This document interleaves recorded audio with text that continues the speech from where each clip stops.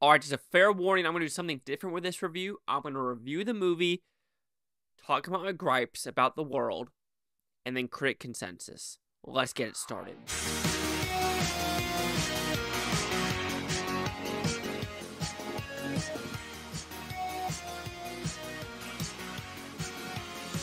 Chase Lehocky here with the Blue Futon reviewing Ordinary Angels. What's about simple premise? We have a father whose five-year-old really needs a liver transplant, bills are piling up because of his wife passing away and the daughter's medical bills as well.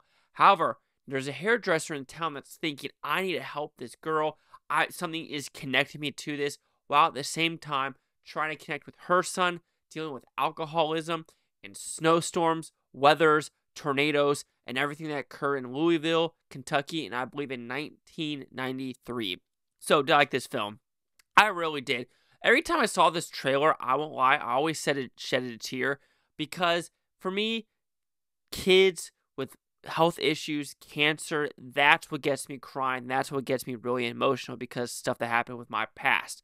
Uh, with like past lives, you know, love of the no, that that does that shit doesn't do anything for me. But this one does. So even going into it, I knew I was gonna have my heartstrings tug because Hilary Swank was in it, and she also does a fantastic job with what she's supposed to do. Yeah, I think before this she did The Hunt, which is a really good movie actually. But this one really fits the bill with being a Christian movie, but not pushing the message of like believing in God 2700% about community, who you could believe in and just dilemmas in your own personal life. So, like I said, when talking about the positives, I do think Hilary Swank and uh, Alan Ritchson, if I'm saying his last name right, I'm so sorry if I'm not. He's in Fast X as well as the Reacher series. Very big dude. He is Reacher through and throughout, but they do a fantastic job in the roles. The kid actors also do a really good job. You see emotion on their face, you see dread on their face, you see them questioning life. And also, I could tell there's some ab lib, especially there's a scene where they're going to get stars, and it's very, very cute.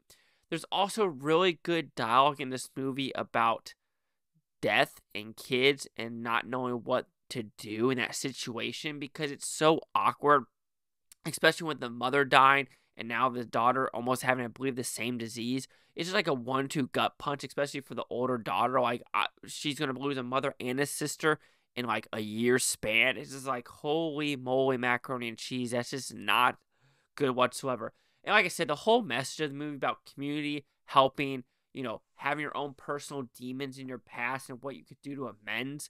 And what is amending your past? Is it actually helping this family, trying to make yourself feel better, even though it's not really fixating the issue that's at hand? And it really digs deep into that as well. Uh, when we talk about some of the negatives, I guess you could say I do think some scenes are a little bit overlong are not necessary. Also, it does make me wonder though, like, did she really have an alcohol problem? Did she really have a son that she was trying to connect to? Because when you watch the trailers, it truly does feel like it is straight up the girl's story and Hilary Swank trying to help. And none of the trailers really dug into her backstory about the alcohol and her son. So I wasn't expecting that side of the story, which is fine and all. And I know we want to like have like two sides of the coin about why she's doing it and is there, you know, dark secrets. But I feel like we should have focused a little bit more on that and maybe explain on how some of this stuff occurred, especially getting rid of a old like 400k thousand dollar health insurance bill. Like they just kind of just happened, and you're like, oh, so they're like, what did the hospital do? Or her talking to the banks get a plane? Like what? Who are these people? And I really would like to see these people, like at least an interview at the end of the movie. Yes, at the very end of the movie, you do see the helicopter scene leaving the church parking lot, and I think that's really good to show. Of course, you know that's more of a helivac, and you can actually see like night versus day, but they all had to do uh, shoveling the snow. But like I said, I really wish this movie would have some interviews with the real life people, and I do think that what that that would make this movie just a little bit more connecting about what actually occurred in the past. But overall, Ordinary Angels, to me, it's a movie that hit me the right way. If you're worried that it's a very preachy Christian movie, you don't need to worry about that. Of course, there are themes to it. I think the best one I could connect this to is the Thomas, not uh, the Greg Kinnear one uh, about the girl falling from the tree and seeing God and him just like questioning a lot of things. You could say that's kind of in the same vein, but don't expect anything like, you know, they're in the church 24 7, because that is not this film. So, Ordinary Angels will receive a 4 out of 5 Bufutons, which equals at 80%. All right, now talking about the criticism of the world we are today, some of the themes in the movie, as well as just Reddit. So let's talk about Reddit real quick. All right. Reddit is a cesspool. It truly is a, not all of Reddit, right? But when you go to the right, not the right areas, it is a true cesspool. And I think the Regal movie mystery is a cesspool. Why do I say that? Yes, you might get some data about what the movie is, but some people are just like, oh, when they saw it was Ordinary Angels, people groaned and walked out of the theater.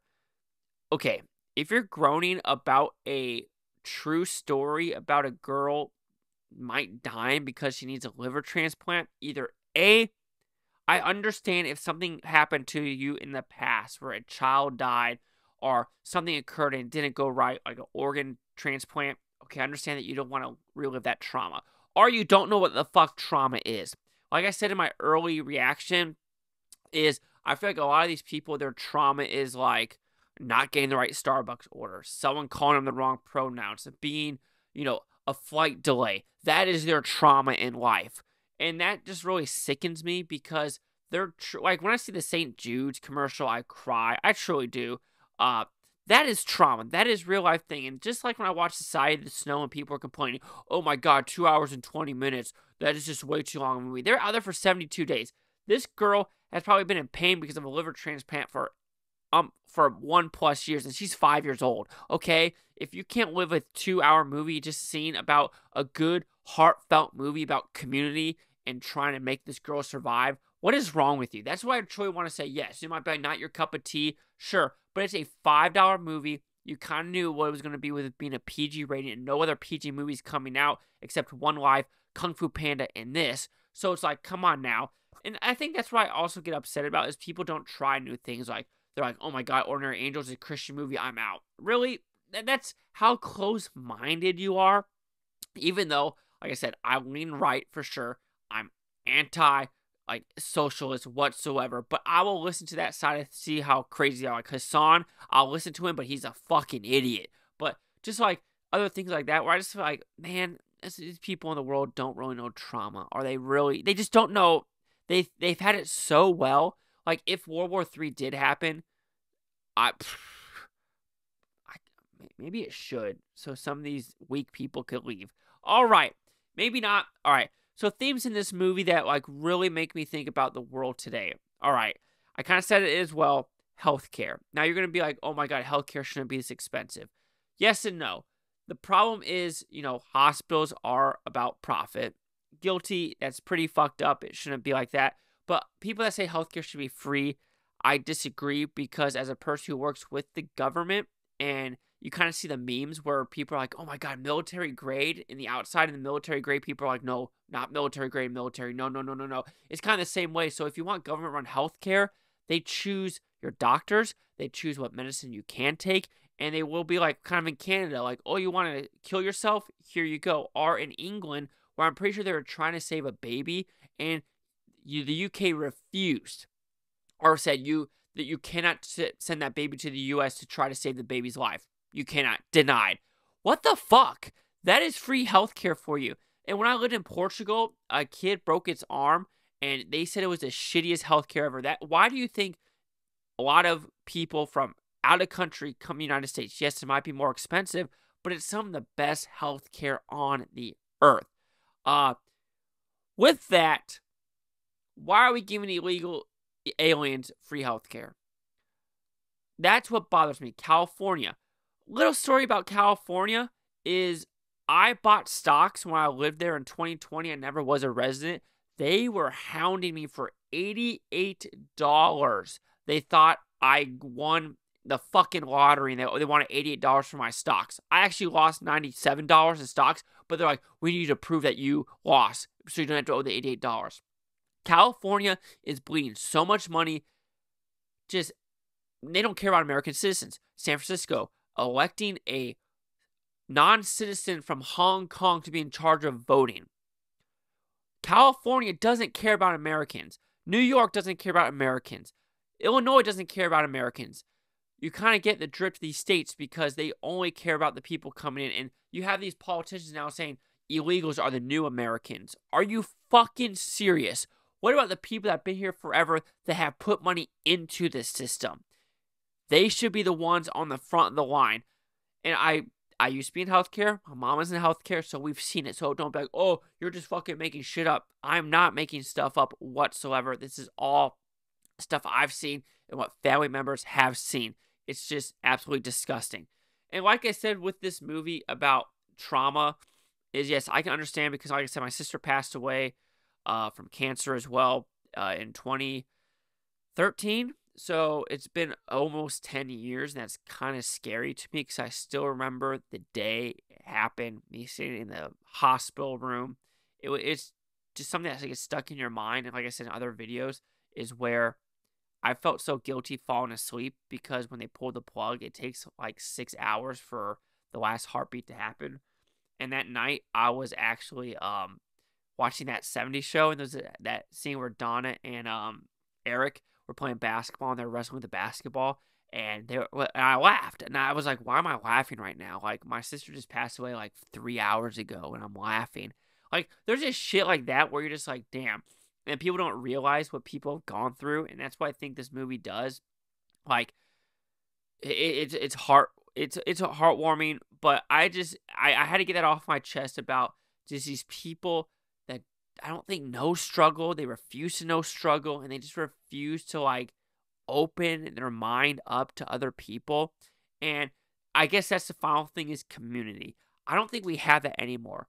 Because, in you know, in 19, 1993, all you really have is the, they don't have GoFundMe's back then. It's, of course, you know, cash donations and trying to get people to help this girl. Uh, of course, now I swear to God, people that like vandalize shit gets more funds than people that really need it that like have healthcare problems and that scares me. And also with community like could you find a community nowadays to actually go help someone? It feels like it's just not there anymore. It's scary where i see all these videos of like just people pushing people on subways pushing people downstairs just random violence it's just unnecessary. Like what what's going on in the water? And that scares me. But Let's talk about the critic consensus and audience score now for Ordinary Angels. So we have one review, no audience score, and the review gave it a negative, saying has some of the beats of a lifetime movie. Uh, Hilary Swank's performance, Southern accent, big hair, all will remind you why she has two Oscars.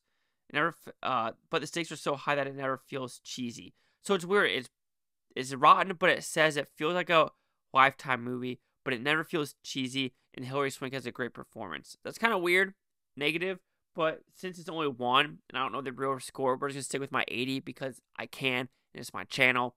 Chase Lehocky here with the Blue Futon. Like, comment, subscribe. Let me know if you Bhutan Tobia. You Bhutaners think you watch a great day. You can watch this tape tomorrow, week from now, month from a year from now, every single freaking one of you. And more of the story, open your mind, see things, understand what other people are going through, and I think we will be better as a world. Seriously.